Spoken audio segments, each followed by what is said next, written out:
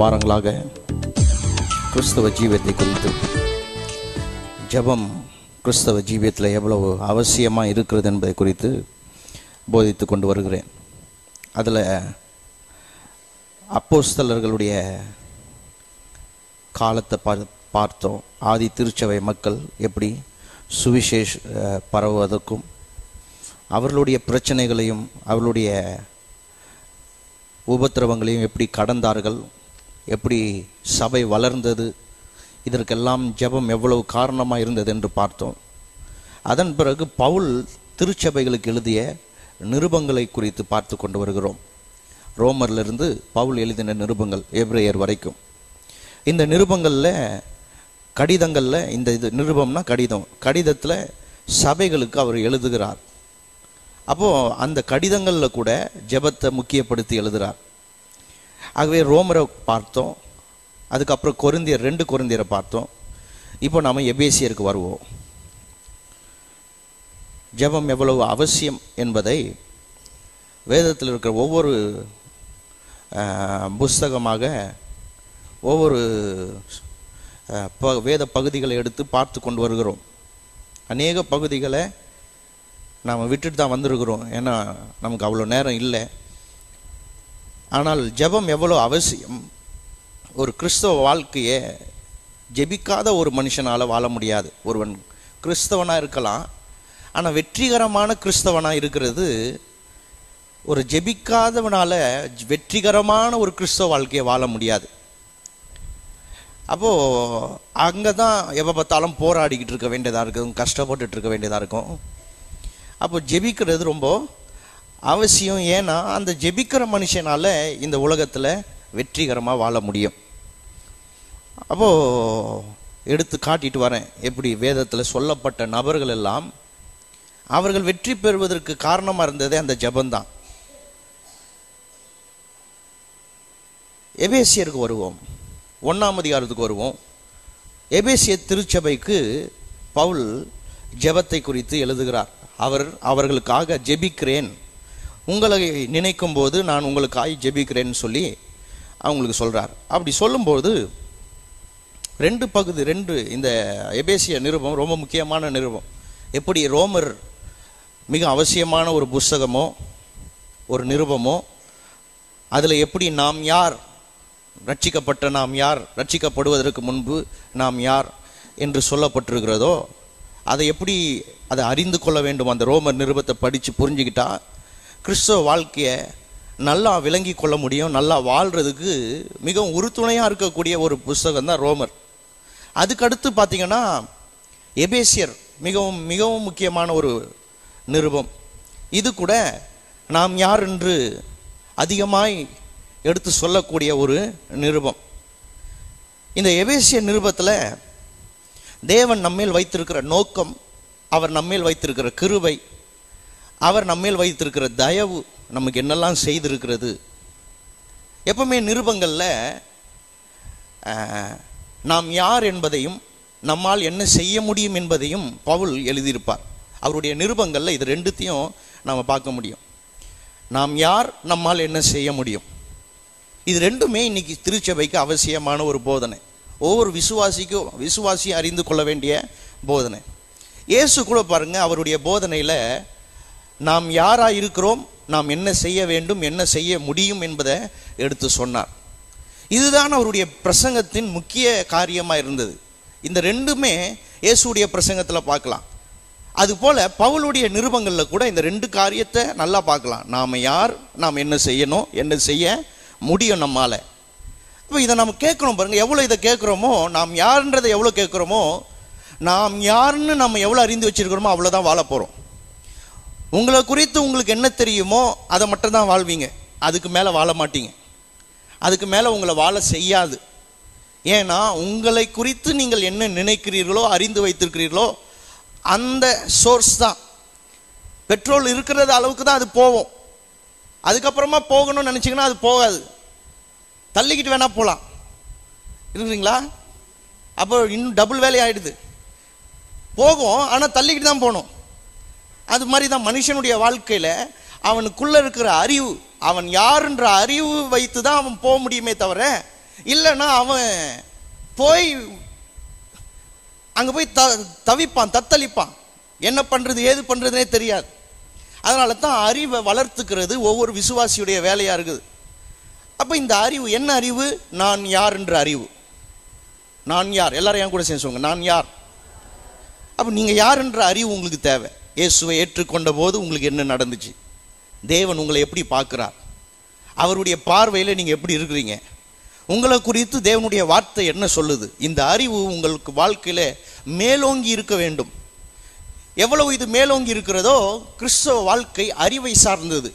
கிறிஸ்தவ வாழ்க்கை தானாக வாழ்கிற ஒன்று அல்ல அது ஆட்டோமேட்டிக்காக எல்லாம் நடக்கிற ஒன்று இல்லை கிறிஸ்தவ வாழ்க்கை என்பது அதனால தான் விரக்திக்குள்ளே போயிடுறாங்க. ஏன்னா ஒன்றும் நடக்கலை. ஞானஸ்நானம் எடுத்துட்டேன். இத்தனை வருஷமாக கோயிலுக்கு வந்துட்டு போகிறேன் ஒன்றும் நடக்கலை. நான் சொல்லுகிறேன் அப்படி எதுவுமே நடக்காது. நீங்கள் எந்த கோயிலுக்கு போனாலும் எந்த ஒரு பாதிரியார்கிட்ட போய் எந்த ஒரு போதகர்கிட்ட போய் உட்காந்து கேட்டாலும் ஒன்றும் நடக்காது. ஆச்சரியப்பட்டுறக்கூடாது. ஏன்னா இது அறிவு சார்ந்த வாழ்க்கை. என் ஜனங்கள் அறிவில்லாமையினால் சங்காரமாகிறார்கள் வேதம் சொல்லுது. அறிவில்லாமல் தான் விசுவாசியால் இந்த உலகத்தில் தோற்று போக முடியுமே தவிர அறிவு இருந்தால் நிச்சயமாக வேதம் சொல்லுது. அறிவீர்கள் அந்த அறிவு உங்களை விடுதலையாக்கும் சொல்லுது. அப்போ அந்த அறிவு ரொம்ப அவசியம். எல்லாம் சொல்லுங்க அறிவு அவசியம்.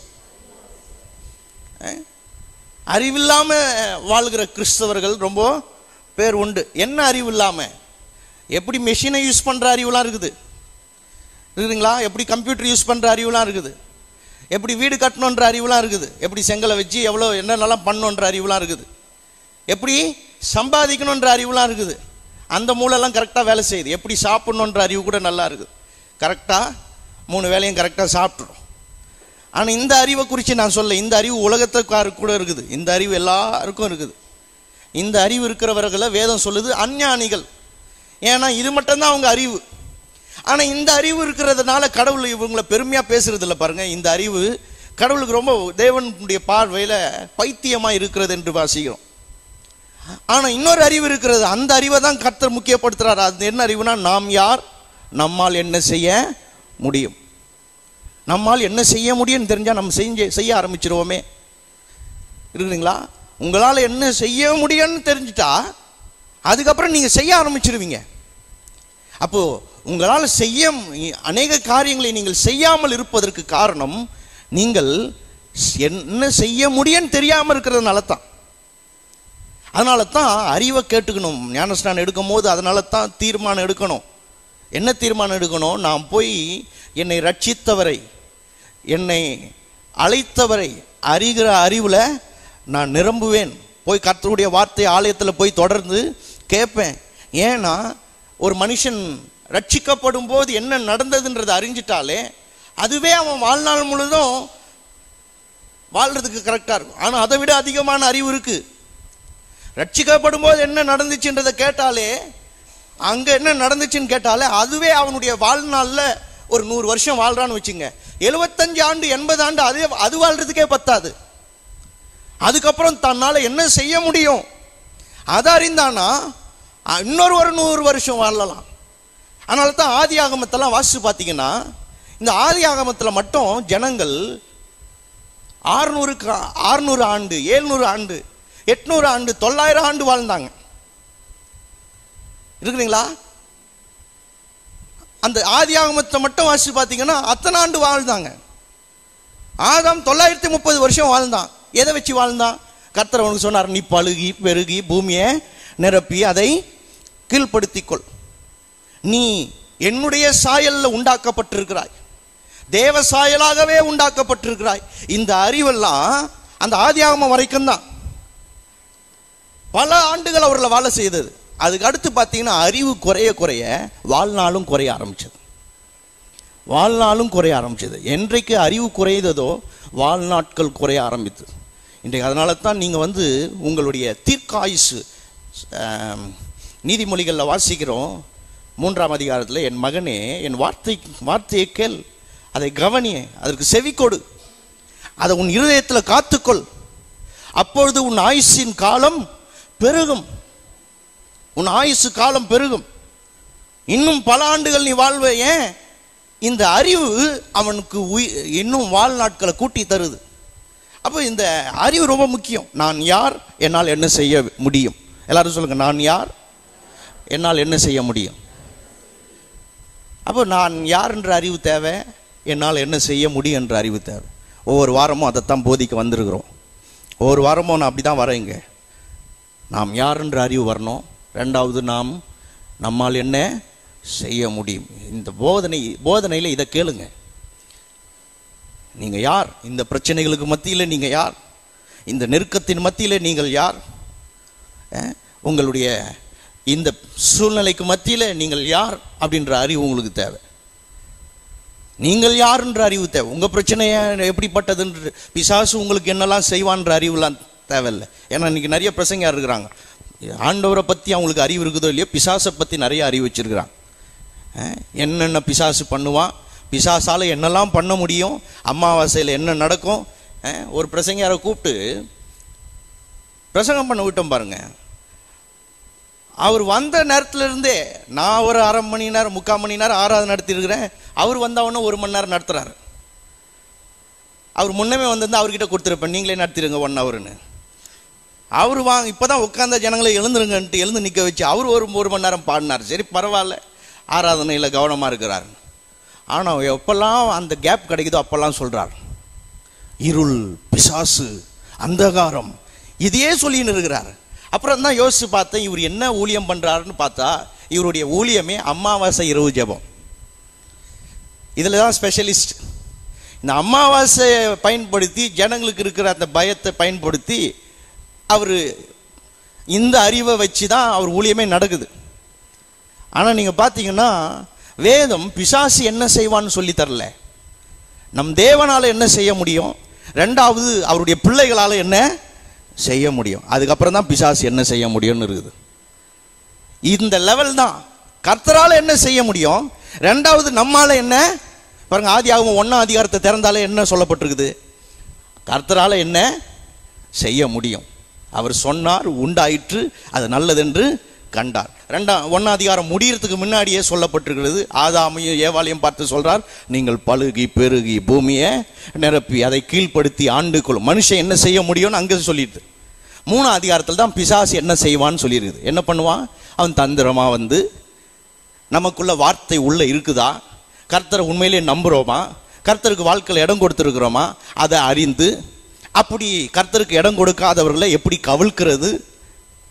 அவன் எப்படி தந்திரமா பொய் சொல்லி எப்படி சத்தியத்தை நமக்குள்ள இருந்து குழப்பி இப்படி தான் அவன் செயல்படுகிறான்னு சொல்லி அதுக்கப்புறம் தான் சொல்லியிருக்குது.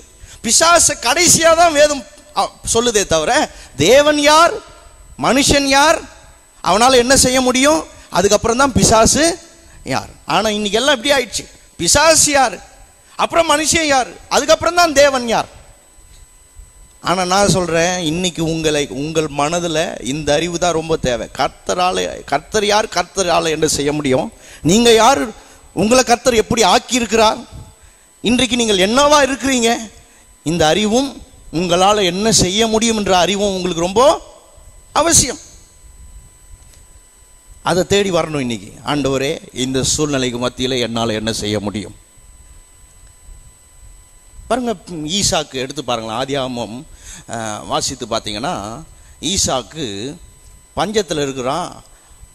அவன் எந்த தேசத்துக்கு போகலான்னு இருக்கிறான். ஏன்னா யாருக்கும்னாலும் கஷ்டம் வந்துடுச்சுன்னா எங்கே போய் பிழைக்கலாம்? எங்கே போனால் வருமானம் வரும்? எங்கே போனால் நம்ம இந்த கஷ்டத்துலேருந்து தப்பிச்சிக்கலான்ற எண்ணம் தான் வரும் பாருங்க. ஈசாக்குக்கு அந்த எண்ணம் வந்துருச்சு. அது இயற்கை. யாருக்கு வேணாலும் வரும். ஆனால் கர்த்தர் சொல்கிறார் போகாத இங்கே இருன்றார். இங்கே இருக்கிறான் அங்க அந்த பஞ்சத்துல என்னங்க அவன் கையில இருக்கும்? அந்த பஞ்சத்துல என்னங்க இருக்கும்? பஞ்சத்துல அவனை கர்த்தர் புரிய வைக்கிறார் உன்கிட்ட விதைகள் இருக்குது அதை எடுத்து அதை எடுத்து விதை என்றார். அவனுக்கு அது விளங்குது. பஞ்ச காலத்துல இந்த இடத்த விட்டு போகாத என்றார் இந்த தேசத்திலே குடியிரு நான் உன்னை ஆசீர்வதிப்பேன்னு சொல்லி அந்த இடத்துல அவனை வாழ செய்து அவனை போவிடாம அங்கேயே தங்க வைக்கிறார் அந்த பஞ்ச இடத்துலயே. பஞ்சம்னா அங்க ஒன்றும் இல்லைன்னு அர்த்தம். ஆனால் அந்த பஞ்சத்துக்கு மத்தியில் ஈசாக்கு கையில் விதை இருக்குது பாருங்க. நீங்கள் நல்லா புரிஞ்சுக்குங்க. உங்கள் கையில் ஒன்றுமே இல்லைனாலும் விதை இருக்கிறதுன்றதை புரிஞ்சுக்குங்க. விதைகள் இருக்குது. விதைன்றது அவ்வளோ பெரிய நிலத்தில் அவ்வளோ நிலத்தை நில அளவுக்கு விதைகளை விதைக்க மாட்டாங்க. கொஞ்சம் தான் விதைப்பாங்க. ஒரு ஆளாக்கு ஓலாக்கா ஆளாக்கான்னு தெரிலது ஓலக்கா சொல்லுங்க. ஆளுக்கு ஆ அந்த ஒரு ஆளுக்கு தான் எடுத்து அந்த ஒரு குறிப்பிட்ட இடத்த விதைப்பாங்களாம் அதுவே அவ்வளோ இடத்த நிரப்புறதுக்கு போதுமானதாக இருக்குதான் பாருங்க. வேதம் சொல்லுது ஈசாக்கு விதை விதைத்தான் பஞ்சத்தில் விதை விதைத்தான் அந்த தேசத்தில் விதை விதைத்தான்னா நிச்சயமாக அவன் தேடி இருப்பான் என்ன விதைகள் இருக்குது எங்கே விதைகள் இருக்குது. இன்றைக்கி கூட நீங்கள் கண்டுபிடிக்கணும். கையில் ஒரு ரூபா இருக்கிறது கூட ஒரு விதை தான் இந்த கஷ்ட நேரத்தில் உங்கள் கையில் இருக்கிற அஞ்சு ரூபா ஒரு விதை தான் அதை எடுத்து நல்ல நிலத்தில் விதைங்க. இருக்கிறீங்களா? அதை எடுத்து ஊழியத்தில் விதைங்க. அதை எடுத்து உங்கள் மனைவி கையில் கொடுங்க. அதை எடுத்து உங்கள் பிள்ளைங்க கையில் கொடுங்க. அதை எடுத்து கர்த்தருடைய வார்த்தையில் விதை கர்த்தருடைய வார்த்தையை சு- போதிக்கிற மனுஷனுக்கு விதைங்க. உங்கள் வாழ்க்கையில் நல்ல நிலத்தில் விதைக்க கற்றுக்குங்க அவனால் என்ன செய்ய முடியுன்றதை கற்றுக்கிட்டான் விதைத்தான். வேதம் சொல்லுது கர்த்தர் அவனுக்கு நூறு மடங்கு பலனை கொடுத்தார். பஞ்சத்தில் ஒரு மனுஷன் விதை விதைத்து நூறு மடங்கு பலன் எடுத்தான். பஞ்சத்தில் என்னத்துக்குப்பா போய் விதைக்கிற? அதை எடுத்து சமைச்சு சாப்பிடுன்னு சொல்றதுக்கு எத்தனையோ பேர் இருக்கிறான். அதுக்கு காத்திருக்கணும் அறுவடைக்கு காத்திருக்கணும். இல்லை இல்லை அவன் ஒரு நம்பிக்கையோடு காத்திருந்தான். என்ன? கர்த்தர் எனக்கு நூறு மடங்கு பலன் தருவார். இன்றைக்கு அப்படிப்பட்ட ஒரு விசுவாசம் தேவை. இன்றைக்கு அப்படிப்பட்ட ஒரு அறிவு தேவை. பல சூழ்நிலைகள் மத்தியில் வந்திருக்கலாம். இருந்தாலும் கண்ணீரோடு வந்திருக்கலாம். இருந்தாலும் உங்கள் கையில் அள்ளி தூவுகிற விதையை கர்த்தர் வச்சிருக்கிறார். ஆ? இந்த இந்த நேரம் ஒரு விதையை போல உங்கள் வாழ்க்கையில் இந்த வாழ்க்கையில் நீங்கள் விதைக்கிற ஒரு நேரம். இந்த வாரத்தை வெற்றிகரமாக ஆக்கிக்கிறதுக்கு ஒரு இந்த வாழ்க்கையில் காலையில் முதல் வாரத்தின் முதல் நாளில் எழுந்து இங்கே வந்து உட்கார்ந்துருக்குறீங்க. எதுக்கு? இந்த நேரத்தை கர்த்தருடைய நல்ல கர்த்தருடைய நல்ல நிலத்தில் வந்து விதைத்தா அவருடைய சமூகத்தில் வந்து விதைத்தா இந்த வாரத்தில் பல மடங்கு சந்தோஷமான நேரத்தை அறுக்கலாம். சுகமான நேரத்தை அறுக்கலாம். வெற்றிகரமான நேரத்தை அறுக்கலாம்னு சொல்லி தான் இந்த இடத்துல வந்து நீங்க கர்த்தருடைய சமூகம் ஒரு நல்ல நிலம்னு சொல்லிட்டு அப்படியே நேரத்தை எடுத்துட்டு வந்து இந்த இடத்துல விதைச்சிருக்கிறீங்க. இருக்கிறீங்களா? ஏன் பெட்ரோலை போட்டு ஏன் அங்கேருந்து தூரத்துல இருந்து ஏன் இங்கே வரணும்? ஆட்டோ செலவு எடுத்து பண்ணிட்டு எதுக்கு இங்கே வரணும்? அஹ்? ஏன் ரெஸ்ட் எடுக்கக்கூடாதா? எதுக்கு இங்கே வந்திருக்கிறோம்? நல்ல நிலத்துல என் நேரத்தை விதைக்கும் நேரம் ஒரு விதை போல இருக்குது. உங்கள் வாயின் வார்த்தைகள் ஒரு விதையை போல இருக்குது விதைகளை விதைக்க கற்றுக்குங்க பஞ்ச காலத்தில் பஞ்சம் இருக்கிறதுன்னு சொல்லி அவன் வேற தேசத்துக்கு போக பார்க்குறான். கர்த்தர் சொல்றார் பஞ்ச காலத்துக்கு வேற தேசத்துக்கு போகக்கூடாது பஞ்ச காலத்தில் விதையை கண்டுபிடி. எதை விதைச்சா அறுவடை செய்யலாம். கர்த்தருடைய சமூகத்தில் உட்கார்ந்து ஜெபிக்கிறது ஒரு விதை. மற்றவர்களுக்கு போய் உதவி செய்கிறது ஒரு விதை. மற்றவர்கள் தேவனுடைய சுவிசேஷத்தை எடுத்துட்டு போயிட்டு தெருவில் நின்று ஊழியம் செய்கிறது ஒரு விதை. உங்கள் வாழ்க்கையில் நீங்கள் அறுவடை செய்வதற்காக நீங்கள் பல மடங்கு நூறு மடங்கு வர வர விருத்தி அடைகிற விதத்தில் அறுவடை செய்கிறதற்காக கர்த்தர் உங்க கையில் விதையெல்லாம் கொடுத்துருக்கிறார். பஞ்சம் ஒருவேளை சொல்லலாம் வேற இடத்துக்கு போனான்னு கர்த்தர் சொல்றாரு பஞ்சத்தில் வேற இடத்துக்கு போறதுக்கு பதில் இல்லை பஞ்சத்தில் விதைக்கிறது தான் பதில். சாரி பாத் என்னும் விதவை அவள் சொன்னால் நாங்கள் சாப்பிட்டு சாக போறோம்னு சொன்னா. நானும் என் வாலிப பிள்ளையும் சாப்பிட்டு சாக போறோம். ஏன்னா பஞ்சத்துல அடுத்த வேலைக்கு ஒன்றும் இல்லை. கையில ஒரு இடம் தான் இருக்குது. அதை சாப்பிட்டு சாக போறாங்க. ஆனா கர்த்தருடைய வார்த்தை அவளுக்கு கிடைக்குது. விதைக்கிறா. அந்த ஊழியக்காரன் வாழ்க்கையில விதைக்கிறா. அவள் தான் சாக போறேன். இதுதான் என்னுடைய கடைசி. என்று சொன்னாலும் கர்த்தர் அவளுக்கு புரிய வைக்கிறார். உன் பஞ்சத்துக்கு விதைக்கிறது தான் பதில். அவள் எடுத்து அந்த ஊழியக்காரன் கொடுக்குறா. இதெல்லாம் வேதத்தில் இருக்கு நான் எடுத்து சொல்லிட்டு இருக்கிறேன் அவளால் என்ன செய்ய முடியும்? அந்த பஞ்சத்தில் அவளால் என்ன செய்ய முடியுன்றதை கர்த்தர் அவளுக்கு கற்றுத்தரார். அவளால் என்ன செய்ய முடியுன்றதை கற்றுக்கிட்டு அவ விதைக்கிறா. வேதம் சொல்லுது பஞ்ச காலம் தீரு மட்டும் அவளும் அவன் வீட்டாரும் எல்லாரும் புசித்தார்களாம். நான் நினைக்கிறேன் ஒவ்வொரு நாளும் அவள் வீட்டில் சாப்பாடுக்குன்னே நிறைய பேர் வந்திருப்பாங்க. ஏன்னா மா குறையவில்லை எண்ணெய் குறையவில்லை. ஏன்னா அவளுக்கு புரிஞ்சது நம்மால் என்ன செய்ய முடியும். இந்த பஞ்சத்திலிருந்து தப்பிக்கிறது பஞ்சத்திலிருந்து ஓடுறது இல்லை பஞ்சத்துக்கு மத்தியில் என்ன செய்யணும்? இன்னைக்கு அதனால தான் சொல்கிறேன் இன்னைக்கு பல நெருக்கத்தின் மத்தியில் வந்திருந்தா என்னால் என்ன செய்யணும்? க- செய்ய முடியும் என்பதை கத்துத்தாங்க கத்தாவே அதனால தான் இந்த நிருபங்கள்லாம் வாசிக்கணும். எபேசியர் அப்படிப்பட்ட ஒரு நிருபம். நாம் யார்? நம்மால் என்ன செய்ய முடியும்னு சொல்கிற ஒரு நிருபம். பாருங்க இன்ட்ரொடக்ஷனுக்கே இவ்வளோ நேரம் ஆயிடுச்சு. உள்ளே போவோம் எபேசியர் ஒன்றாம் அதிகாரத்துக்கு வாங்க. எபேசியர் ஒன்றாம் அதிகம் எத்தனை பேர் என் கூட இருக்கிறீங்க? வாசிங்க. பதினைந்து.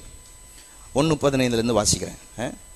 ஆனபடியினாலே கர்த்தராகிய இயேசுவின் மேலுள்ள உங்கள் விசுவாசத்தையும் பரிசுத்தவான்கள் எல்லார் மேலும் உள்ள உங்கள் அன்பையும் குறித்து நான் கேள்விப்பட்டு இடைவிடாமல் உங்களுக்காக என் ஜெபங்களில் உங்களை நினைத்து நம்முடைய கர்த்தராகிய இயேசு கிறிஸ்துவின் தேவனும் மகிமையின் பிதாவுமானவர் தம்மை நீங்கள் அறிந்து கொள்வதற்கான ஞானத்தையும் தெளிவையும் அளிக்கிற ஆவியை உங்களுக்கு தந்தரல வேண்டும் என்றும் தாம் நம்மை அழைத்ததினாலே நமக்கு உண்டாயிருக்கிற நம்பிக்கை இன்னதென்றும். பரிசுத்தவான்களிடத்தில் தமக்கு உண்டாயிருக்கிற சுதந்திரத்தினுடைய மகிமையின் ஐஸ்வர்யம் இன்னதென்றும். தாம் கிறிஸ்துவை மறித்தோரிலிருந்து எழுப்பி அவரிடத்தில் நடப்பித்த தமது பலத்த சத்துவத்தின் வல்லமைப்படியே விசுவாசிக்கிறவர்களாகிய நம்மிடத்தில் காண்பிக்கும் தம்முடைய வல்லமையின் மகா மேன்மையான மகத்துவம் இன்னதென்றும் நீங்கள் அறியும்படிக்கு. அவர் உங்களுக்கு பிரகாசமுள்ள மனக்கண்களை கொடுக்க வேண்டும் என்று வேண்டிக் கொள்கிறேன். சபைக்கு ஜெபிக்கிறார். திருச்சபைக்கு ஜெபிக்கிறார். சபைக்கு என்ன தேவை? என்ன அவங்களுக்கு தேவையோ அதை ஜெபிக்கிறார் பாருங்க. நம்ம ஜெபிக்கும்போது தேவையை தான் நம்ம முன்ன கொண்டு வந்து வைக்கிறோம். ஜெபிக்கும்போது தேவையை முன்னே முன்ன கொண்டு வந்து வைக்கிறோம். இந்த தேவை இது உண்டாகணும் இது கிடைக்கணும் அப்படின்னு தானே நம்ம ஜெபிக்கிறோம். எபேசிய திருச்சபைக்கு என்ன தேவைன்றதை பவுல் உணர்ந்து ஜெபிக்கிறார். இந்த எபேசிய நிருபத்தில் ரெண்டு முறை உங்களுக்காக ஜெபிக்கிறேன்னு சொல்கிறார் அதுக்கப்புறமா அவங்கள பார்த்து சொல்வார் உங்- உங்களுக்கு உங்களுக்காக நீங்கள் ஜெபிக்கணும்னு சொல்லுவார். அதுக்கப்புறமா எங்களுக்காக நீங்கள் ஜெபிக்கணும்னு சொல்வார் மூணையும் அங்கே சொல்லியிருப்பார். பவுல் அவங்களுக்காக ஜெபிக்கிறேன்னு சொல்லுவார். அதுக்கப்புறமா நீங்கள் உங்களுடைய போராட்டத்துக்கு மத்தியில் எப்படி ஜெபிக்கணும்? எப்படி உங்களுடைய ஆவிக்குரிய போராட்டத்தை எப்படி ஜெபித்து ஜெயிக்கணுன்றதை சொல்லுவார். அதுக்கப்புறமா அவர் ஊழியம் செய்துட்டு இருக்கிறதுனால அவருக்கு ஊழியம் வெற்றிகரமாக போகணுன்றதுக்காக ஜெபிக்க சொல்லுவார். பாருங்க இந்த மூணும் இந்த எபேசிய நிருபத்தில் ரெக்கார்ட் ஆகிருக்கும் ஒன்றாம் அதிகாரம் மூணாம் அதிகாரம் ஆறாம் அதிகாரத்தில் இப்போ நான் சொன்னதெல்லாம் ரெக்கார்டாக இருக்குது. ஒன்றாம் அதிகாரத்தில் இப்போ வாசித்த பகுதியில் பவுல் மிக முக்கியமான ஒரு ஜெபத்தை ஜெபிக்கிறார். நிறைய பேர் இதெல்லாம் ஜெபித்திருக்கவே மாட்டாங்க. அவங்களுக்கு இதெல்லாம் இதங் இது என்னங்க ஜெப குறிப்பு இது என்னங்க ஜெப குறிப்பு? ஒரு இடத்துல போயிருந்தேன் ஒரு கூட்டத்துக்கு. எதுக்காக ஜெபிக்கணும்னு கேட்டேன். சுகருங்க அதுக்காக தான் அப்படின்னாங்க. சுகருக்காக ஜெபிக்கணும். சில பேருக்கு சால்ட்டு உப்புக்காக ஜெபிக்கணும். சில பேருக்கு பண தேவைக்காக ஜெபிக்கணும். சில பேர் வீடு வாங்கணும்னு ஜெபிக்கணும். சில பேர் பிள்ளைங்க சரியாகணும் ஜெபிக்கணும். புருஷன் ரட்சிக்கப்படும் இந்த மாதிரி ஜெப குறிப்பு தான். என்ன நடக்கணும்? ஆனால் நிறைய பேர் இப்போ நம்ம வாசித்த வேத பகுதியை அப்படியே வாசித்து முடிச்சிருக்கிறோமே தவிர ஆனால் அங்கே சொல்லப்பட்டிருக்கிற ஜெபத்தை எத்தனை முறை ஜெபித்திருப்போன்றதே தெரியாது. வேதத்தில் ஜெபங்கள் எல்லாம் இப்படிலாம் ஜெபித்தா பதில் கிடைக்கும்ன்றதுக்காக எழுதப்பட்டிருக்குதே தவிர அது ஏதோ ஒரு கதை போல ஏதோ அவர்கள் ஜெபித்தார்கள்ன்றதுக்காக எழுதப்படலை. எப்படிலாம் ஜெபித்தா அதனால தான் இயேசு கிட்ட வரும்போது ஜெபத்தை பற்றி அவர் சொல்லி தரும்போது முதல் காரியம் இயேசு கிட்ட வந்து கேட்குறாங்க எப்படி ஜெபிக்கணும்னு. அப்போ இயேசு ஃபஸ்ட்டு சொல்லி தந்தது என்னன்னா எப்படிலாம் ஜெபிக்க கூடாதுன்னு. ஜெபத்தை பற்றி கற்று தரும்போது ஃபர்ஸ்ட் அவர் எப்படி சொல்லி கொடுத்தாருன்னா எப்படியெல்லாம் ஜெபிக்க கூடாது? எப்படி அஞ்ஞானிகளை போல மாயக்காரர்களை போல எப்படி மற்றவர்களுக்கு தெரியணும்னு சொல்லிட்டு வழியில் வழியில நின்று மற்றவர்களுக்கு முன்னாடி நின்று ஜெபிக்கிறாங்க. அவங்களுடைய பலன் அவங்க அப்பவே அடைஞ்சிடுறாங்க.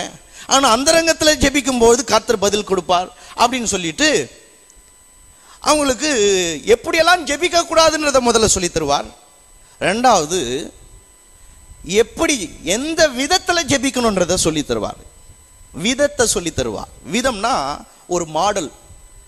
இயேசு வந்து அதைத்தான் ஜெபிக்க சொல்லலை. இந்த மத்தையும் ஆறாம் அதிகாரம் ஒன்பதாவது வசனத்திலிருந்து பிரேயர் பற்றி சொல்லித்தரார் பரமண்டலங்கள் இருக்கிற எங்கள் பிதாவே என்றத அந்த ஜெபத்தை சொல்லித்தரார். சில பேர் அதை மட்டும் தாங்க பண்ணுறாங்க அவங்க என்ன நினச்சிட்டாங்கன்னா ஜெபம் பண்ண வேண்டியதாவதுன்னு நினச்சிட்டாங்க. நீங்கள் ஜெபம் பண்ண வேண்டியதாவது அப்படின்னு நினச்சிட்டாங்க. ஆனால் அந்த இடத்த நல்லா வாசித்து பார்த்தீங்கன்னா நீங்கள் ஜெபம் பண்ண வேண்டிய எப்படி இருக்கும்? விதமாவது. விதம்னா மாடல். இதை பயன்படுத்திக்கங்க. இதை வச்சு இந்த மாதிரி நீங்க ஜெபம் பண்ணுங்க அப்படின்னு சொன்னார். இந்த மாதிரி. இவங்க என்ன பண்ணிட்டாங்க? இதுதான் ஜெபம்ன்ட்டு நூறு முறை இதை வேணா சொல்லுவாங்களே தவிர வேற எதுவுமே ஜெபிக்க மாட்டாங்க. அப்போ பார்த்தீங்கன்னா எபேசிய திருச்சபைக்கு அவர் எழுதும்போது அங்கே சொல்லப்பட்டிருக்கிறத நிறைய பேர் ஜெபித்ததே கிடையாது. ஏன்னா அது அவங்களுக்கு எடுத்து சொன்னதே கிடையாது. ஒரு சபைக்கு எது பெரிய தேவையா இருக்கும்? ஒரு சபைக்கு எது தேவையா இருக்கும்? சபைன்னா நாம. இந்த கட்டிடம் இல்லை. கட்டிடத்துக்கு தேவை இருக்குது. வர மாதம் அதுக்காக ஜெபிக்கணும். ஆனால் இங்கே இருக்கிற நமக்கு இங்கே இருக்கிற உங்களுக்கு இங்கே இருக்கிற எனக்கு நாம தான் ஒரு சபை இந்த ஐக்கியம் தான் ஒரு சபை. இந்த சபைக்கு கிறிஸ்து தலையாக இருக்கிறார் நாம சரீரமாக இருக்கிறோம். நம்மை தான் வேதம் ஆலயம் சொல்லுது. நீங்கள் தேவனுடைய ஆலயமாக இருக்கிறீர்கள் வேதம் சொல்லுது. இந்த ஆலயமாக இருக்கிற நமக்கு என்ன தேவையாக இருக்கோ நீங்கள் சொல்லலாம் உடனே ஐயா பணம் இல்லாமல் ஒன்றும் பண்ண முடியாது. அதே போல் வசதி இல்லாமல் ஒன்றும் பண்ண முடியாது. சரீர சுகம் இல்லாமல் ஒன்றும் பண்ண முடியாது. இருக்கிறீங்களா ரெண்டாவது சந்தோஷம் சமாதானம் இல்லாமல் வாழ்க்கையில் நல்லா இருக்க முடியாது. நீங்கள் சொல்ல அத்தனையும் சரி. ஆனால் அத்தனையும் பவுல் இஸ்- எபேசிய சபை மக்களுக்காக ஜெபிக்கவே இல்லை. அதுதான் அவர்களுடைய தேவை. இன்னைக்கு இங்கே வந்திருக்கிற உங்களுக்கு நான் இப்ப சொன்னதுதான் தேவை. சுகம் தேவை சமாதானம் தேவை வசதி தேவை நல்ல வருமானம் தேவை இதெல்லாம் தேவை. ஆனால் இன்னைக்கு நீங்கள் என்கிட்ட வந்து கேட்கும்போது ஒரு போதகராக இருக்கிற நான் அதை விட வேற ஒன்றுக்கு ஜெபிக்க வேண்டியதாக இருக்குது. ஏன்னா வேதம் சொல்லுது பவுல் அந்த எபேசியர் ஒன்றாம் அதிகாரத்தில் சொல்கிறாரு எபேசியர் ஒன்றாம் அதிகாரம். மூணாம் அதிகாரம். தயவு செய்து மூணாம் அதிகாரம். இருபதாவது வசனம் பாருங்கள் நாம் வேண்டிக் கொள்கிறதற்கும் நினைக்கிறதற்கும் மிகவும் அதிகமாய் நமக்குள்ளே கிரியை செய்கிற வல்லமையின்படியே நமக்கு செய்ய வல்லவராகிய அவருக்கு. நமக்கு எப்படி செய்ய வல்லவராக இருக்கிறாரா? நினைப்பதற்கும் வேண்டிக் கொள்வதற்கும் அதிகமாக செய்ய வல்லவராக இருக்கிறார். எதை நினைப்பதற்கும் எதை வேண்டிக் கொள்வதற்கும் அதிகமாக செய்வாரா? அதை தான் நம்ம கேள்வி எழுப்பணும் நினைப்பதற்கும் வேண்டிக் கொள்வதற்கும்னா நான் இந்த சட்டை வாங்கலான்னு இருந்தேன். அதனால கர்த்தர் இந்த சட்டையை விட பெரிய சட்டையை கொடுக்கலாம். பெரிய விலை உயர்ந்த சட்டையை கொடுக்கலான்னு அந்த அறிவு அதை பற்றி இவர் சொல்லுங்க. இந்த வீடை வாங்கலான்னு இருந்தேன். கர்த்தர் இந்த வீடை விட பெரிய வீடை கொடுத்தார். அந்த அந்த வல்லமையை பற்றி இங்கே சொல்லல. நினைப்பதற்கும் வேண்டிக் கொள்வதற்கும் அதிகமாய் செய்வார்னு சொல்லியிருக்குது. எதை நினைச்சா அதிகமாக செய்வார். எதை வேண்டுனா இதை விட அதிகமாக செய்வார். அப்போ எதை வேண்டுனா எதை நினைச்சா அதைத்தான் இங்கே எபேசியரில் வாசிக்கிறோம். நாம் எல்லாம் கேட்டுன்னு இருக்கிறோமே அது செய்யணும் இது நடக்கணும் இது நடக்கணும்னு. அதையெல்லாம் செய்யக்கூடிய விதத்தில் இந்த ஜெபத்தை ஜெபிக்கிறவர்கள் இதை தங்கள் தேவையாக பார்க்கிறவர்களுக்கு இதை அவர் இது அவர்களுடைய நினைப்பா. இதுதான் அவர்களுடைய வேண்டுதலாக இருந்தா இதை மாத்திரம் இல்லை இதோடு கூட அதையும் அதிகமாக செய்ய வல்லவராக இருக்கிறார். வேதத்தை நம்ம நல்லா புரிஞ்சுக்கணும் பாருங்க. நம்முடைய சுய விளக்கத்தை கொடுத்துடக்கூடாது. பக்கத்து வீட்டுக்காரங்களுக்கும் இவங்களுக்கும் சண்டை. சண்டை வந்தது இவங்களால தான் குப்பையை கொண்டு போய் இவங்க தான் அங்கே கொட்டினாங்க. ஆனால் இவங்க எப்படி தெரியுமா சொல்லிக்கிறது? கத்தர் எனக்காக யுத்தம் பண்ணுவார். பண்ணது நீ. இதில் கத்தர்லாம் தலையிட மாட்டார். நீ ஒழுங்காக அந்த குப்பையை க கொண்டு வந்து இங்கே போடு. உன் வாசல்ல போடு. சண்டை முடிஞ்சிடும் இதில் வேற வாக்குதத்தம் வேற எடுத்துக்கிறது. உனக்கு விரோதமாய் உருவாக்கப்படுகிற எந்த ஆயுதமும் வாய்க்காதே போகும் வாய்க்கும் உனக்கு. ஆ? ஒரு வழியாய் வருவான் ஏழு வழியாக ஓடிப்போவான். நீ தான் ஓட போற. அவன் ஓட மாட்டான். ஏன்னா பண்ணுறதெல்லாம் நீ. எடுத்துக்கிறதெல்லாம் வாக்குதத்தை எடுத்து இப்படி ஜெபிக்கிறது இப்படி ஜெபிக்கிறது. கர்த்தர் இப்படிலாம் சுய சுயநலத்துக்கு சுயநலம் சார்ந்த ஜெபத்துக்கு கர்த்தர் உதவி செய்கிறதே இல்லை பாருங்க. பதில் கொடுக்கறதே கிடையாது பாருங்க. உங்களை குறித்து மட்டும் நீங்கள் ஜெபிக்கிறவராக இருந்தால் நீங்கள் நிச்சயமாக அந்த ஜெபித்துன்னு தான் இருப்பீங்களே தவிர கடைசி பதில் பெற்றுக்கொள்ளவே மாட்டீங்க. மற்றவர்களுக்காக நீங்கள் ஜெபிக்கிறவர்களா இருந்தா கர்த்தர் உங்களுக்காக கூட பதில் கொடுக்க உங்களுடைய ஜெபத்தை கூட நீங்க ஜெபிக்கலனா கூட கர்த்தர் பதில் கொடுப்பார். எனக்கு தெரிஞ்சு யோபு ஜெபிக்கவே இல்லை. என் நிலமா மாறட்டும் ஜெபிக்கவே இல்லை. சிநேகிதருக்காக வேண்டுதல் பண்ணா கர்த்தர் இவன் சிறையிருப்பை மாற்றினார். ஏன்னா அங்க தான்றத அந்த நாற்பது அதிகாரம் தன்னை பத்தி பேசிட்டு இருக்கிறான். அந்த நாற்பது அதிகாரம் தான் பிரச்சனையை பத்தி பேசிட்டு இருக்கான் தான் வாய எப்ப தன்னை பத்தி பேசுறத நிறுத்திட்டு மற்றவர்களை பத்தியும் கர்த்தரை பத்தியும் பேசுறத ஆரம்பிச்சானோ அங்க கர்த்தர் உடனே அவனுக்கு மறு உத்தரவு கொடுக்குறார். சுயநலம் என்றைக்கு வெளில வருதோ அங்க அங்கே பதில் பாருங்க. இந்த சுயநலத்துக்காக வாக்குதத்தங்களையும் வசனத்தையும் பயன்படுத்துகிற ஆட்களை நீங்க பார்த்துருப்பீங்க. இதெல்லாம் ரொம்ப கேர்ஃபுல்லா இருக்கணும். அஹ்? இருக்கிறீங்களா ஒருத்தங்க என்னங்க குண்டாயிட்டே போறீங்கன்னு கேட்டா கர்த்தர் இடம் கொள்ளாமல் போக மட்டும் பெருகுவாயின்னு சொல்லியிருக்கிறான்றான் கடைசியில் கதவை உடைச்சி வீட்டில் உள்ள போக வேண்டியதா இருக்கும். எல்லாத்துக்கும் எடுத்துக்கூடாது ஆ?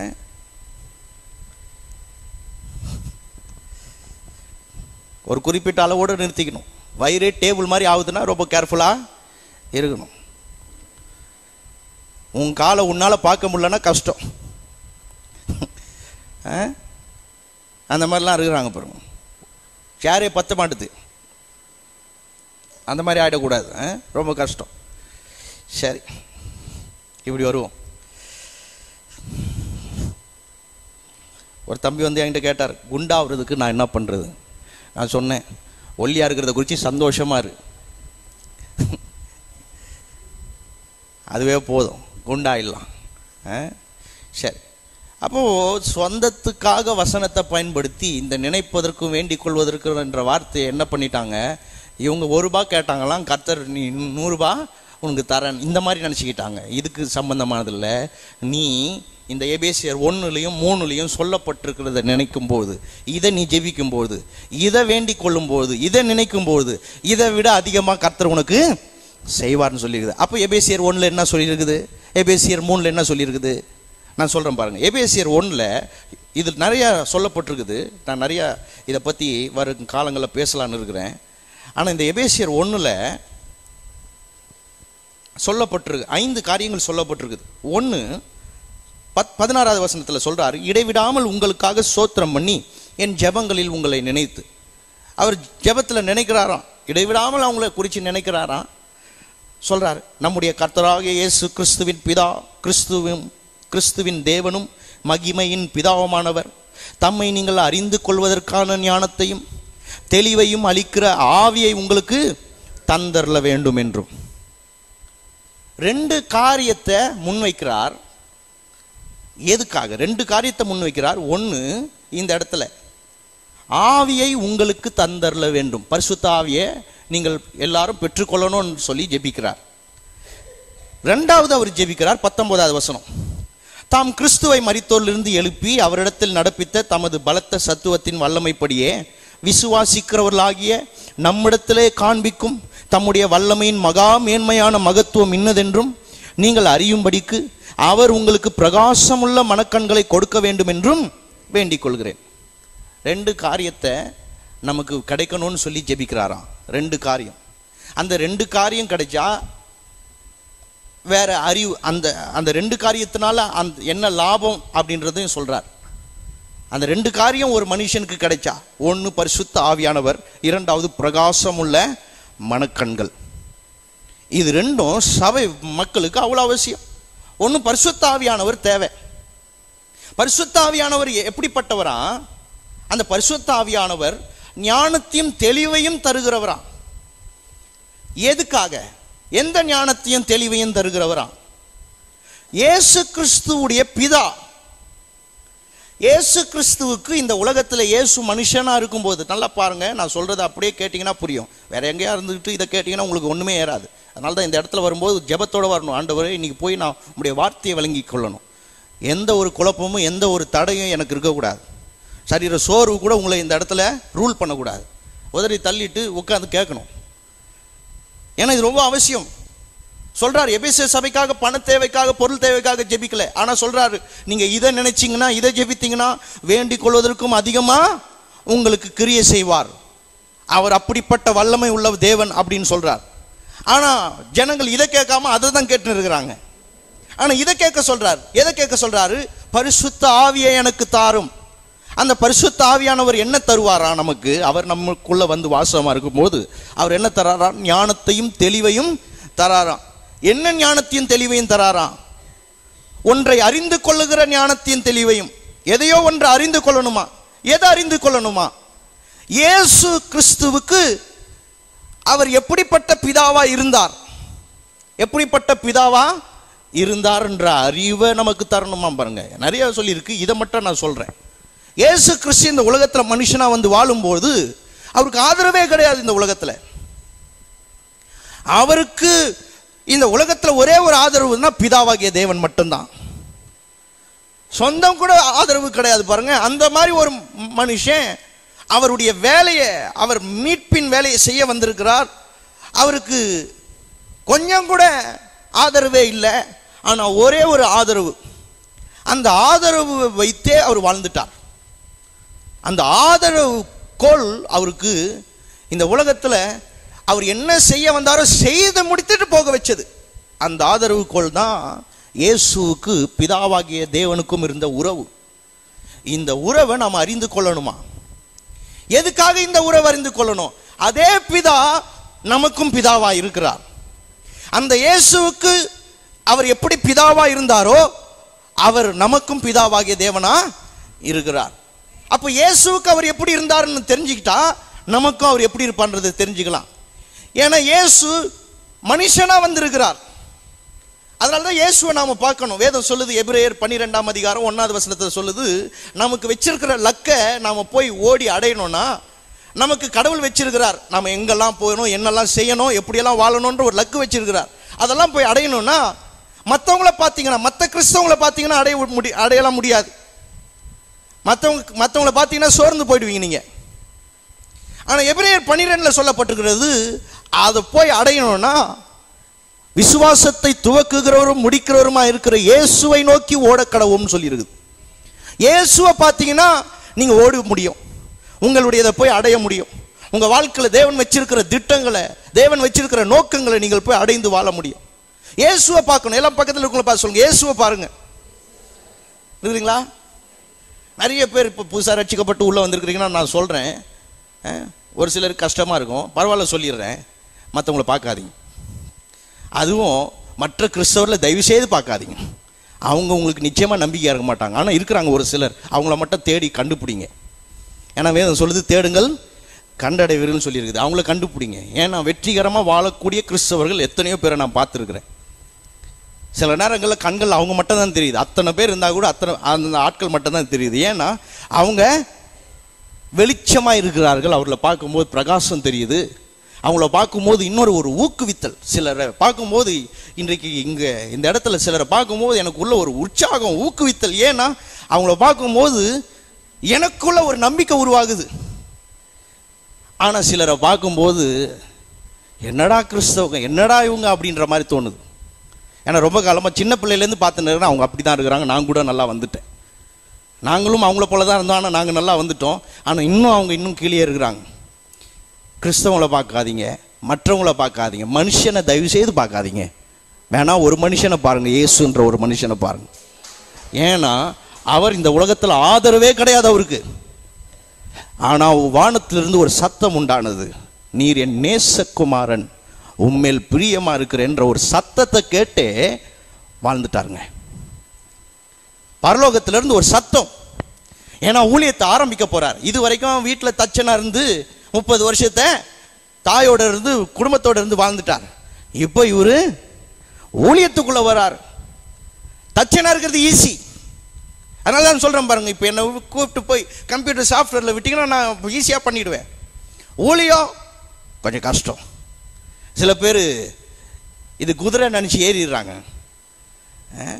ஆனால் வேகமாக போகும்போது தெரியும் அவங்களுக்கு இது பேலன்ஸ் பண்ண முடியாதுன்னு. சில பேர் கைண்டிக்கிறாங்க சில பேர் குதிச்சிடுறாங்க சில பேர் யோசிக்கிறாங்க ஏன் தவறாக வந்துட்டோமோன்னு. நான் சொல்கிறேன் ஊழியத்தில் அந்த மாதிரி வரவே முடியாது. அவங்க செய்கிறாங்கன்ட்டு நம்ம எதுவும் செய்ய முடியாது. சில போட்டியில் செய்வாங்க பாருங்கள் போட்டியில் செய்கிறது கிடையாது. அவங்க ஆரம்பித்தா நம்ம ஆரம்பிக்கணும் அவங்க செஞ்சால் நம்ம செய்யணும். நம்மளால் நிறைய பேர் அப்படி தான் பண்ணின்னு இருப்பாங்க பாருங்கள் கிறிஸ்தவ சபைகள் இப்படி தான் நடக்குது? அவங்களும் பண்ணியிருக்காங்க இவங்களும் பண்ணியிருக்காங்க. ஒருவேளை நல்ல காரியமாக இருந்தால் எடுத்துக்கலாம். ஆனால் அவங்க பண்ணுற எல்லா சேஷ்டையும் எடுத்து பண்ணிடக்கூடாது ஒருத்தர் இருந்தார் பாருங்க. இங்கே சுற்றி தான் இருந்தார் அவர். அவர் ஃபோட்டோ பேனரில் தெரியணுமா பாருங்க. அந்த பேனர் தான் சுற்றி சுற்றி வச்சுட்டு இருந்தார் அவர். இப்போ ஓஞ்சிருக்கிறார் கொஞ்சம் அமைதியாக இருக்கிறார். என்னவோ என்ன ஆசையோ. ஃபோட்டோ பேனரில் தெரியணும். அரசியல்வாதிங்க மாதிரி ஒரு ஆசை. ஆ? நிறைய பேருக்கு இப்படி தான் ஒரு ஆசை. பேனரில் தெரியணும். ஆ? பேனர்லாம் தெரிய தேவையில்ல. உங்களுக்கு பேனர் வைக்கணும்னா அதுக்கு ஏற்ற மாதிரி வார்த்தையில் நீ வேலை செய். கர்த்தர் ஒரு காலம் வரும் அந்த காலத்தில் உன்னை கொண்டு போய் மற்றவங்க உனக்கு பேனர் அடித்து ஒட்டுவாங்க. இந்த போதகர் பேசுகிற இடத்துல வந்து கேளுன்னு சொல்லி. அவசரப்படக்கூடாது பாருங்க. அப்போது இந்த மற்றவர்களை பார்த்தீங்கன்னா எதுவுமே செய்ய முடியாது முன்னேறிலாம் செல்ல முடியாது. இயேசுவை மட்டும் பாருங்கள் முன்னேறி செல்ல முடியும். ஏன்னா இந்த இயேசுவுக்கு ஒரு ஆதரவு இருந்துச்சு. அது ஸ்- பயங்கரமான ஆதரவு. அது என்ன?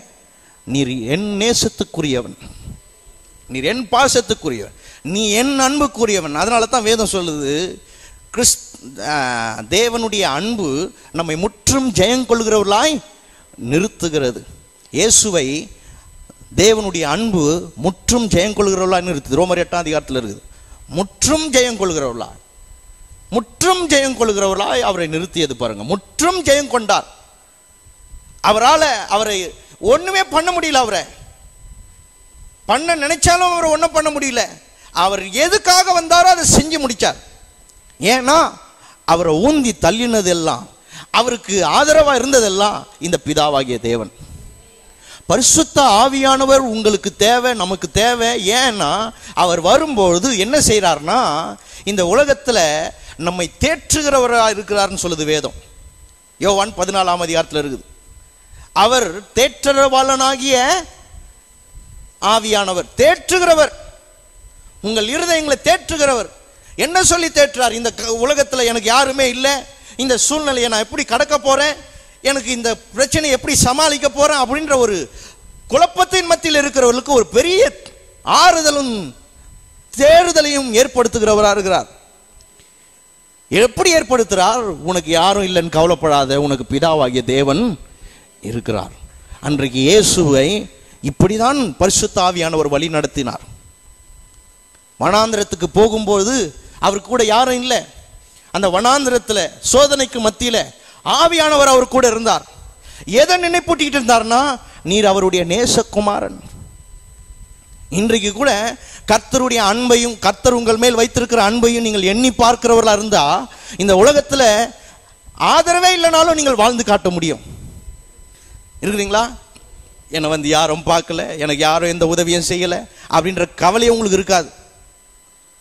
என்னை யாரும் சந்திக்கலை எனக்கு யாருமே இல்லை. நான் ஒரு அனாதை இந்த பேச்சே உங்களுக்கு இருக்காது. எல்லாரும் இருக்கிறவர்கள் வாழாததை இல்லாதவர்களாகி நீங்கள் வாழ முடியும். இருக்கிறீங்களா? எனக்கு யார் இருக்கிறா? அந்த பேச்சு உங்க வாயில வரவே கூடாது. ஏன்னா வேதம் சொல்லுது அவர் உங்களை விசாரிக்கிறவராக இருக்கிறார்னு. ஆனா நம்ம ஆட்கள் நிறைய பேர் என்னை வந்து பார்க்கல என்னை வந்து ஐயா பார்க்கல என்னை வந்து சந்திக்கல. இந்த மாதிரி ஆட்களாகவே இருக்கிறாங்க. சந்திக்காத ஆட்கள் தான் நல்லாவே இருக்கிறாங்க. அதைத்தான் நான் பார்த்துக்கிட்டே வரேன் நான். யாரை சந்திக்கலையோ அவங்க நல்லா இருக்கிறாங்க. சந்திக்கிற ஆட்கள் தான் அப்படியே குழந்த மாதிரியே இருக்கிறாங்க. ஏன்னா இன்னும் அவங்களுக்குள்ள தனியாக தனி காலால் நின்று சொந்த காலால் நின்று வாழ தெரியல. இன்னும் குழந்தைகளாக இருக்கக்கூடியவர்களுக்கு வெறும் பால் தான். என்ன பால்? கலங்காதே மகளே. இன்னைக்கு நான் இப்படி பேசுகிறேன்னு வச்சுங்களேன். உன் கர் உன் கண்ணீரை கர்த்தர் துடைப்பாருன்னு வச்சுங்களேன். இவங்களுக்கு என்னவோ பெரிய தீர்க்க தரிசனம் சொன்ன மாதிரி. இதை என் குழந்தைகிட்ட சொல்கிற வார்த்தை இது. எப்படி சொல்லுவேன்? அழாத அழாத. எல்லாம் சரியாயிடும் அப்பா இருக்கிறேன். எல்லாம் சரியாயிடும் இது என் குழந்தைகிட்ட சொல்லுவேன் அதே என் குழந்தை இன்னும் ஒரு பத்து வயசாகி இன்னும் ஒரு பதினஞ்சு வயசாகி அழுதுட்டுருக்குன்னு வச்சுங்க. என்ன சொல்லுவேன்? உன்னால் என்ன செய்ய முடியுன்றதை தெரிஞ்சுக்கோ. இதுக்கு மத்தியில் நீ என்ன பண்ணணுன்றதை தெரிஞ்சுக்கோ. அப்போ கூட நான் அழாத அழாதன்னு சொல்லிட்டு இருக்கேன்னு வச்சுங்க. என் பிள்ளைய நான் இன்னும் குழந்தையாவே வச்சிருக்கிறேன்னு அர்த்தம். அதனால தான் நீங்கள் எவ்வளோ காலமாக இதையே கேட்க விரும்புகிறீர்கள்? எவ்வளோ காலமாக உங்களை குறித்த ஒரு தனிமையும் உங்களை குறித்து ஒரு கவலை உணர்வும் உங்களை குறித்து எனக்கு யாருமே இல்லைன்ற உணர்வோடு வாழ்ந்துட்டு இருக்கிறீங்க அதை முதல்ல தூக்கி எறியுங்க. உங்களை ஆதரிக்கிற தேவன் ஒரு பிதாவாகிய தேவன் ஒருவர் இருக்கிறார். எப்போ இந்த அறிவு வரும்? எப்போ இந்த உலகத்தில் இத்தனை சூழ்நிலைக்கு மத்தியில் எப்படிங்க இந்த அறிவு வரும்? இந்த அறிவு தாங்க இயேசுவை எல்லாவற்றையும் செய்ய வைத்தது. இந்த அறிவு தான் அவரை முன்னேறி செல்ல வைத்தது. இந்த அறிவு தான் அவர் அடைய வந்ததை அடைய வைத்தது. அப்ப இந்த அறிவு உங்களுக்கு இருந்துச்சுன்னா உங்களுக்கும் ஒரு பிதா இருக்கிறார். அவர் உங்களை கைவிட மாட்டார். அவர் உங்களை நடத்துவார். அவர் உங்களுக்கு ஆதரவா இருக்கிறார் என்ற இந்த அறிவு உங்களுக்குள்ள மேலோங்கி வந்துச்சுன்னா நீங்க முன்னேறி செல்வதை ஒருத்தரும் தடுக்க முடியாது. இருக்கிறீங்களா நீங்கள் முன்னேறி செல்வதை ஒருத்தரும் தடை செய்ய முடியாது. ஏன்னா இந்த அறிவு தான் இயேசுக்குள்ள இருந்து எல்லாவற்றையும் செய்ய வைத்தது. வெறுத்தே போல பாருங்க. என்னடா அது ஜனங்க இப்படி இருக்கிறாங்களேன்னு. வெறுத்தே போல பாருங்க. செய்ய வந்ததை செஞ்சு முடிச்சார். அவர் செய்ய வந்தது செய்ய முடி வைச்சதுக்கு ஆரம்பமே. அந்த வேறா எது இருந்துச்சு தெரியுமா? நான் இருக்கிறேன் உனக்கு நீர் நேசகுமாரன். இந்த உலகத்தில் உனக்கு யாருமே இல்லை இல்லை. நான் உனக்கு கூட இருக்கிறேன்ற ஒரு அறிவு தான் அவரை வாழ வச்சது. பரிசு தாவியானவர் உங்களுக்கு கிடைக்கும் போது அதை தான் செய்ய வைக்கிறார். பரிசு தாவியானவரை நீங்கள் வாஞ்சிக்கணும். ஆண்டவரே உம்முடைய ஆவி எனக்கு தந்தரலும் ஞானத்தையும் தெளிவையும் அளிக்கிற ஆவி எனக்கு தாரும். அந்த ஆவி எனக்கு வந் ஆவியானவர் என்னோடு கூட இருந்தா கிறிஸ்துவுக்கு பிதாவாகிய தேவன் எப்படி இருந்தாரோ அந்த பிதா எனக்கு எப்படி இருக்கிறார் என்ற அறிவு எனக்கு வரும். வந்தா நான் வெற்றிகரமாக வாழ முடியும். ஹalleluya. எத்தனை பேர் நான் சொல்றதை கேட்குறீங்க விலங்கெல்லாம் திரும்ப ரெக்கார்ட் பண்ணியிருப்போம் போட்டு கேட்டு வாங்கி வாங்கி கேட்டு பாருங்க. இதெல்லாம் ரொம்ப அவசியம் இதெல்லாம். விசுவாசிகளுக்கு இந்த அறிவு இல்லை. விசுவாசிகளுக்கு இந்த அறிவை விட வேற அறிவு தான் நிறையா இருக்குது. தீர்க்கதரிசிகளை நோக்கி போகிற விசுவாசிகளாகவே இன்னும் இருக்கிறாங்க. ஆனால் அந்த தீர்க்கதரிசிகளுக்குள்ள இருக்கிற ஆவியானவர் உங்களுக்குள்ளே வந்துவிட்டால் தீர்க்கதரிசிகளை நாடி போகவே தேவையில்லை. ஏன்னா அவங்களுக்குள்ள இருந்து பேசுறவர் இப்போ உங்களுக்குள்ள இருந்து பேசுறார். அவங்களுக்குள்ளே இருந்துட்டு உங்களுக்கு சொல்லிக்கிட்டு இருந்த காலங்கள் பழைய ஏற்பாட்டின் காலங்கள் இருக்கிறீங்களா? அவர்களுக்குள்ள இருந்த காலங்கள்ல அவர்களுக்குள்ள இருந்து செயல்பட்ட காலங்கள் இன்றைக்கு இல்லை. அதனால தான் பழைய ஏற்பாடும் புதிய ஏற்பாடையும் நல்லா புரிஞ்சுக்கணும். இன்றைக்கு சபைக்குள்ளேயே தீர்க்கதரிசிகள் இருக்கிறீங்க இங்க இருக்கிற ஒவ்வொருத்தரும் தீர்க்கதரிசிகளா இருக்கிறீங்க. இருக்கிறீங்களா? இங்க இருக்கிற ஒவ்வொருத்தரும் தீர்க்கதரிசிகளா இருக்கிறீங்க. உங்களையே கத்த தீர்க்கதரிசியா வச்சிருக்கார். எப்படியா சொல்றீங்க? அந்த ஆவியானவர் உங்களுக்குள்ள இருக்கிறார். அல்ல லூயா அந்த வார்த்தையை உங்க கையில கொடுத்துட்டாரு. தீர்க்க தரிசன வார்த்தைகளை. இன்னும் உங்களுக்கு தீர்க்கதரிசி வேணும். இன்னும் தரிசனம் பார்க்கணும். இன்னும் யாராவது உங்களை பத்தி சொல்லணும்னு நினைக்கிறீங்கன்னா உங்க பேரை சொல்லி கூப்பிடணும்னா நான் சொல்றேன். இன்னும் நீங்கள் குழந்தைகளா இருக்கிறீங்க. இன்னும் நீங்க பழைய பாட்டின் காலத்தில் இருக்கிறீங்க. கிறிஸ்து வந்து உங்களுக்குள்ளே ஆவியானவர் தங்குகிறதுக்கான எல்லாவற்றையும் செய்து முடிச்சிட்டாரு. இப்போ அந்த ஆவியானவர் இங்க இருக்கிற ஒவ்வொருத்தருக்குள்ளேயும் தங்குறதுக்கு அவர் உங்களுக்குள்ள இருந்து இயேசு இந்த உலகத்தில் எப்படி வெற்றிகரமா வாழ்வதற்கு பிதாவாகிய தேவனை குறித்த அறிவு இயேசுவுக்கு இருந்ததோ அதனால தான் பாருங்க இந்த யோவான் நிருபத்தை மட்டும் வாசி யோவான் சுவிசேஷ புஸ்தகத்தை மட்டும் வாசிச்சு பார்த்தீங்கன்னா திரும்ப திரும்ப என் பிதா என் பிதா என் பிதான்னு இயேசு சொல்லிக்கிட்டே இருப்பார். பிதாவானவர் பிதாவானவர். திரும்ப திரும்ப இந்த யோவான் மாத்திரம் வாசிச்சு பார்த்தீங்கன்னா ரொம்ப அது திரும்ப திரும்ப சொல்லப்பட்டிருக்கும். பிதா என்னை அனுப்பினார். பிதா பிதா பிதான்னு இயேசு திரும்ப திரும்ப சொல்லுவார். ஏன்னா அவருக்கு அந்த ஆதரவு தான். இன்னைக்கு உங்களுக்கு ஆதரவு தேவை.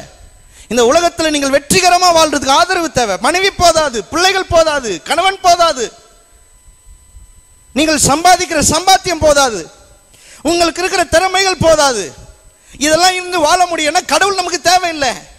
இது இருந்தும் வாழ முடியாத எத்தனையோ பேர் இந்த உலகத்தில் தவிச்சிட்டு இருக்கிறாங்க. இன்றைக்கு நீங்கள் கூட இதெல்லாம் இருந்தும் வாழ முடியலன்னு சொல்லி வந்திருக்கலாம். இது இருந்து வாழ முடியும் என்று நம்புகிறது ஒரு பெரிய பொய். இதெல்லாம் இல்லாம கூட உங்களால் வாழ முடியும். ஆனா அப்படி வாழணும்னா பிதாவாகிய தேவன் உங்களுக்கு தேவை. அவர் இயேசுவை எப்படி அவரோடு கூட இருந்து நடத்தினார்ன்ற அறிவு உங்களுக்கு தேவை. அப்போ அந்த அறிவு தேவைன்னா வேதம் சொல்லுது அந்த அறிவை தருகிற ஆவியானவர் தேவை. ஒவ்வொரு விசுவாசியும் ஜெபிக்கணும். எபேசிய திருச்சபைக்கு சொல்லித் தரார் உங்களுக்காக நான் இப்படி ஜெபிக்கிறேன். இன்னைக்கு நமக்கு ஒவ்வொரு நாளும் நாம ஜெபிக்க வேண்டியது இதுதான். ஆண்டவரே உம்முடைய ஆவி எனக்கு தாரும். உம்முடைய ஆவியானவர் எனக்குள்ள இருந்து இந்த அறிவை எனக்கு தாரும். பிதாவாகிய தேவனுக்கு அவருக்கு நீர் எப்படி இருந்தீரோ அவருடைய அந்த மூன்று வருஷம் மூன்றரை வருஷம் ஊழியம் எப்படி வெற்றிகரமா இருந்துச்சோ அது போல இந்த ஆண்டு எனக்கு வெற்றிகரமா இருக்க இந்த ஆண்டை என் கையில கொடுத்திருக்கிறீர். இந்த ஆண்டு இன்னைக்கு யாருக்காவது பிறந்த நாள்னா இன்னைக்கு தயவு செய்து கேளுங்க. இந்த ஆண்டை கடவுள் உங்க கையில கொடுத்துருக்கிறார். கொடுத்து என்ன சொல்றாரு? நீ வாழணும்னா என் ஆவியானவரை உனக்கு தரேன். அந்த ஆவியானவர் என்ன செய்வாராம் ஞானத்தையும் தெளிவையும் தருவாராம் எதுக்கு ஞானத்தையும் தெளிவையும் தராரு? ஒரு அறிவை நீங்க அடையிறதுக்கு. அது என்ன அறிவு? இயேசு கிறிஸ்துவுக்கு பிதாவாகிய தேவன் எப்படி இருந்தார் என்ற அறிவு. எல்லாம் என் கூட சேர்ந்து சொல்லுங்க. இயேசுவுக்கு பிதாவாகிய தேவன் எப்படிப்பட்ட ஆதரவாக இருந்தாரோ அந்த அறிவு அந்த ஆதரவு எனக்கும் தேவை. பரிசுத்தாவியானவர் இதை எனக்கு தருகிறார். ஹalleluya. கரங்களை தட்டி காத்திரை மகிமைப்படுத்தும் ரெண்டாவது சொல்கிறாரு பத்தொன்பதாவது வசனத்தில் தாம் கிறிஸ்துவை மறித்தோரிலிருந்து எழுப்பி அவரிடத்தில் நடப்பித்த தமது பலத்த சத்துவத்தின் வல்லமைப்படியே விசுவாசிக்கிறவர்களாகிய நம்மிடத்திலே காண்பிக்கும் தம்முடைய வல்லமையின் மகா மேன்மையான மகத்துவம் இன்னதென்றும் நீங்கள் அறியும்படிக்கு உங்கள் அவர் உங்களுக்கு பிரகாசமுள்ள மனக்கண்களை கொடுக்க வேண்டும் என்றும் வேண்டிக் கொள்கிறேன். இது கூட ரொம்ப முக்கியமான தேவை. ஒன்று பரிசுத்த ஆவியானவர் தேவை. ஏன்? அந்த ஆவியானவர் வந்தால் ஞானத்தையும் தெளிவையும் தருகிறார். எதுக்கு? நான் ஒரு அறிவை பெற்றுக்கொள்ள. அது என்ன அறிவு? இயேசுவுக்கு பிதாவாகிய தேவன் என்னவா இருந்தார்? எப்படியெல்லாம் அவரை நடத்தினார்ன்ற அந்த அறிவு நான் பெற்றுக்கொள்ளணும். ஏன்னா இப்போ இயேசுவை போல என்னையும் பார்க்கிறார். இயேசுவை போல என்ன இந்த உலகத்தில் வச்சிருக்கிறார். அதனால தான் என்னை கிறிஸ்தவன் என்று அழைக்கிறார்கள். நம்ம கிறிஸ்தவர்கள். அப்படின்னா எதுக்காக அப்படி அழைக்கப்படுறோம்? இயேசுவை போல நாம் இருக்கிறோம். ஒரு குட்டி கிறிஸ்துவ போல இந்த உலகத்தில் இருக்கிறோம். இயேசுடைய ஒரு ஜெராக்ஸ் காப்பி போல. இப்போலாம் கேட்குறாங்க பார்த்தீங்களா ப்ரூஃப் கேட்குறாங்களே ஒரிஜினல்லாம் நீங்கள் கொடுக்க தேவையில்லை. ஒரு அச்சு எடுத்து கொடுத்துட்டிங்கன்னா போதும். ஏன் அச்சு எடுத்து கொடுத்துட்றாங்க? அந்த அச்சில் இதில் இருக்கிறது அது அந்த அச்சில் வந்துடுது ஆனால் டோட்டல் ஒரிஜினல் சொல்ல முடியாது. முழுமையாக இது ஒரிஜினல் சொல்ல முடியாது. ஆனால் அதில் இருக்கிறதெல்லாம் இதில் இருக்கிறதுனால அது ஒரிஜினல் அது அதுக்கு பதில் இதை வாங்கிக்கிறாங்க. ஒரிஜினலை போல வாங்கிக்கிறாங்க. ஏன்னா அதில் இருக்கிற எழுத்து இதில் பதிஞ்சிடுச்சு அதைத்தான் சொல்கிறேன் இந்த வார்த்தைகள் எல்லாம் உங்கள் இருதயத்தில் இருந்தால் அதைத்தான் இயேசு சொல்லிட்டு இருக்கிறார் யோவான் பதினைந்தில். அங்கேருந்து தான் நம்ம இந்த இடத்துக்கே வந்திருக்கிறோம்.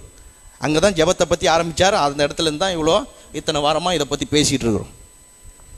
இயேசு சொல்கிறாரு வார்த்தை உன்னில் இருந்தால் அப்படின்னா அந்த பதிப்பு இந்த பதிப்பு இந்த மேலே பேப்பரில் வந்து பதிஞ்சிருது போல. இந்த ஒயிட் பேப்பரில் பதிஞ்சது போல. இந்த பாத்திரத்தில் அவருடைய வார்த்தையும் அவரை குறித்த அறிவும் வந்து நிரம்பிட்டா இந்த பாத்திரமும் இயேசுவை போலவே மாறிடுது. இயேசுவை போலவே மாறிடுது. இயேசுவை போலவே நாம் மாறிடுறோம். ஆனால் இயேசு கிடையாது. ஆனால் இயேசுவை போல நாம் இந்த உலகத்தில் இருக்கிறோம். இப்போ இந்த இயேசுக்கு எப்படி பிதா இருந்தாரோ இப்போ நமக்கும் அப்படி தான் இருக்கிறார். ஆனால் என்ன ஆயிடுது? உதாரணத்துக்கு சொன்னோன்னா இன்றைக்கி அநேக கிறிஸ்தவர்கள் இயேசுவை போல வாழ முடியும். எல்லா கிறிஸ்தவர்களும் இயேசுவை போல வாழ முடியும். எல்லாம் கூட சேர்ந்து சொல்லுங்க. என்னால் இயேசுவை போல வாழ முடியும். பிலிப்பியர் ரெண்டாம் அதிகாரத்தில் பவுல் சொல்றார். பிலிப்பியர் ரெண்டாம் அதிகாரத்தில் சொல்றாரு கிறிஸ்துவின் சிந்தை உங்களில் இருப்பதாக. எடுக்க வேணாம். நான் இப்பெல்லாம் சொல்லிடுறேன். அதெல்லாம் எழுதி வச்சுக்கோங்க. கிறிஸ்துவின் சிந்தை உங்களில் இருப்பதாக. அப்படின்னு அர்த்தம் என்ன? கிறிஸ்துவை போல என்னால் சிந்திக்க முடியும்ன்ற அர்த்தம். பவுல் அப்படிதான் சொல்றார். கிறிஸ்துவுக்குள்ள இருந்த சிந்தை உங்களுக்குள்ள இருப்பதாகனா?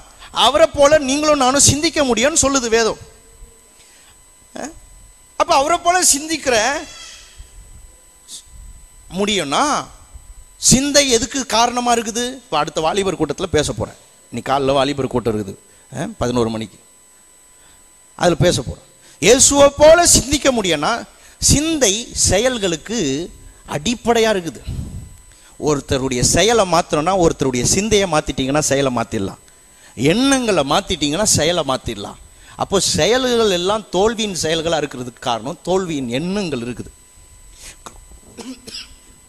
கிறிஸ்துவை போல வாழ்ந்து கிறிஸ்துவை போல வெற்றிகரமாக வாழணும்னா கிறிஸ்துவை போல சிந்திக்கணும். ஏன்னா எண்ணங்கள் மாறிட்டா செயல்கள் மாறிடும். இதுதான் சைக்காலஜி இதுதான் ரியாலிட்டி இன்னைக்கு நீங்கள் தோற்றுக்கிட்டே இருக்கிறீங்கன்னா எண்ணங்களை மாற்றுங்க ஜெயிக்கிற வரலாம் மாறிடுவீங்க. வாழ்க்கையில் எண்ணங்களை மாற்றாத கிறிஸ்தவங்க தான் நிறைய பேர் இருக்கிறாங்க. அதனால தான் மறுரூபத்தை பார்க்க முடியல. எண்ணங்களை மாற்றணும் பக்கத்தில் இருக்கவங்க பார்த்து உங்கள் எண்ணங்களை மாற்றுங்க இருந்தீங்களா? மாறவே மாறாது. நடக்கவே நடக்காது. கிடைக்கவே கிடைக்காது. சில பேர்களை தாழ்ந்த எண்ணம் பாருங்க. நல்ல பையன் நல்ல பொண்ணு நல்ல ஆட்கள் தான். ஆனால் மட்டமான எண்ணம். மட்டமான எண்ணம். தன்னை அப்படியே செருப்புக்கு கீழே வச்சு பார்ப்பாங்க. விசுவாசிகள் கூட அப்படி தானே ஜெபிக்கிறாங்க. எப்படி ஜெபிக்கிறாங்க? நான் ஒரு பேதை நான் ஒரு குப்பை நான் ஒரு தூசி ஒரு ஊழியக்காரை கூப்பிட்டு பிரசங்கம் பண்ணியாருன்னா ஆரம்பிக்கிறார். இந்த கழுதையை கொண்டு பேசும் கழுதையெல்லாம் நான் கூப்பிடல பிரசங்கியார் தான் கூப்பிட்டுருக்குறேன். கழுதெல்லாம் இங்கே வர வேணாம். அது ஒரு காலம். கேட்காத ஆளுக்காக பேசிச்சு கழுதை. இனி கேட்குற ஆட்கள் இங்கே வந்து உட்காந்துக்கிறாங்க நீ கழுதெல்லாம் வேணாம். ஒரு பிரசங்கியார் வந்தா போ நான் ஒரு கழுதை நான் ஒரு குப்பை ஒரு தாழ்வு மனப்பான்மையை கிரியேட் பண்ணிக்கிட்டு இவங்களுக்குள்ளவே ஒரு ஒரு லோ எண்ணம் ஒரு கீழான எண்ணம். எங்கே நம்மளை வேற மாதிரி நினச்சிருவாங்களோ? எங்கே நம்ம பலவீனத்தை புரிஞ்சுக்கிட்டு நம்மளை அடிமைப்படுத்துவாங்களோ? நம்மளை எங்கே சிறப்படுத்திடுவாங்களோ? எங்கே மற்றவங்க முன்னாடி நம்ம அவமானப்பட்டுருவோமோ? இந்த மாதிரி ஒரு கீழான எண்ணம். நான் சொல்லுகிறேன் எந்த ஒரு கிறிஸ்தவனா கிறிஸ்தவனும் மற்றவர்களுக்கு தாழ்ந்திருக்கவே தேவையில்லை தாழ்ந்திருக்க வேண்டியதில்லை. ஏனென்றால் இயேசு இந்த உலகத்தில் எப்படி தலை நிமிர்ந்து வாழ்ந்தாரோ அப்படி ஒவ்வொரு கிறிஸ்தவனும் வாழ முடியும். இருக்கிறீங்களா? வேணா அவர் ஆரம்பித்தது ஏழை குடிசையா இருக்கலாம் அவர் ஆரம்பித்தது மாட்டு தொழுவமா இருக்கலாம். மாட்டு தொழுவம் அவர் வீடு இல்லை. மாட்டு தொழுவத்தில் இருக்கிறவர்களை எல்லாம் வீட்டுக்குள்ள கொண்டு வருகிறவராக மாறினார் அவர். இருக்கிறீங்களா? ஆகவே ஏழ்மை கோலம் எடுத்தார்ன்றது பிறக்கிற நேரத்தில் மட்டும்தான். அதுக்கப்புறம் எடுத்தார்னா நமக்காக சிலுவையில் எடுத்தார். ஆனா அவர் வாழும் காலத்தில் அவர் ஏழையா? இல்லை. அப்போ பாத்தீங்கன்னா நிறைய கிறிஸ்தவர்களுக்கு கீழான எண்ணம் பாருங்க. ஒரு பிச்சைக்காரனை அவன் செத்த பிறகு அவன் இடத்த க்ளீன் பண்ணாங்களாம் கீழே லட்சக்கணக்கான பணம் இருந்துச்சான் பாருங்க. புத்தி என்ன பாருங்க? பிச்சைத்தே வாழ்ந்துடலான்னு. லட்சம் தான் இருக்குது அடியில. அந்த லட்சத்தை எடுத்து வீடை கட்டி ஒரு நல்லா வாழ்ந்துட்டு சுகமா டாக்டர் கிட்ட போய் உடம்பை செக் பண்ணி வாழ்ந்துருக்கலாம். கடைசி வரைக்கும் பிச்சை எடுத்தே சாகணுன்ற ஒரு எண்ணம் பாருங்க. நான் இப்படியே இருந்துட்டு போயிடுறேன். இப்படியே இருந்துட்டு போறதுக்காக கர்த்தர் உன்னை வைக்கல. நீ எப்படி இருக்கணும்னு கர்த்தர் தெளிவா எழுதி கொடுத்துருக்காரு. நீ வாழ்ந்து சுகமா இருக்கணும்னு வச்சிருக்கிறார். முப்பத்தெட்டு வருஷம் வியாதியஸ்தனை பார்த்து சொன்னார் நீ சுகமாகணும்னு விரும்புகிறாயா?